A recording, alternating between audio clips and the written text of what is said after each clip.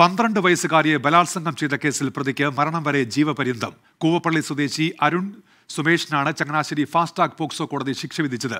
രണ്ടായിരത്തി പത്തൊൻപതിലായിരുന്നു കേസിനാസ്പദമായ സംഭവം. വിഷ്ണു സുരേഷ് വിവരങ്ങളുമായി കോട്ടയത്ത് നിന്ന് വിഷ്ണു വിവരങ്ങൾ എന്തൊക്കെ?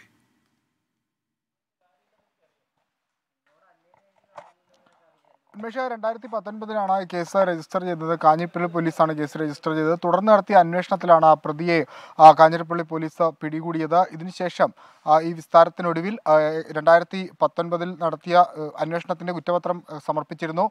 തുടർന്ന് ചങ്ങനാശ്ശേരി പോസ്കോ ഫാസ്റ്റ് ട്രാക്ക് കോടതിയാണ് വിധി പ്രസ്താവിച്ചത്. അരുൺ സുമേഷിന് മരണം വരെ ജീവപര്യന്തം വിധിക്കുന്നു എന്നുള്ളതായിരുന്നു വിധി. ഈ കേസിൽ പ്രോസിക്യൂഷൻ മുപ്പത് സാക്ഷികളെയാണ് വിസ്തരിച്ചത്. ഒപ്പം എട്ട് പ്രമാണങ്ങളും ഹാജരാക്കി. പ്രോസിക്യൂഷന് വേണ്ടി ഹാജരായത് അഡ്വക്കേറ്റ് പി എസ് മനോജാണ്. കൃത്യമായി ആ, കു- ഈ പ്രതി ഇത്തരത്തിൽ കുറ്റം ചെയ്തിട്ടുണ്ട് എന്ന് തെളിയിക്കാൻ പ്രോസിക്യൂഷനായി പന്ത്രണ്ട് വയസ്സാണ് അന്ന് ഈ ഇരയ്ക്ക് പ്രായമുണ്ടായിരുന്നത്. അതിക്രൂരമായ ബലാത്സംഗം നടന്നു എന്നുള്ളതാണ് കോടതി ഈ വിധി പ്രസ്താവനയ്ക്കിടയിൽ പറഞ്ഞത്. ഈ പശ്ചാത്തലത്തിലാണ് പ്രതിക്ക് മരണം വരെ ജീവപര്യന്തം പ്രത്യേകം പരാമർശം കോടതി നടത്തിയത്.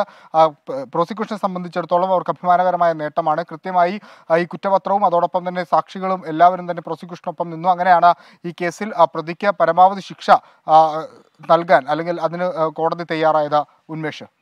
വിഷ്ണു സുരേഷ് കോട്ടയത്ത് നിന്ന്.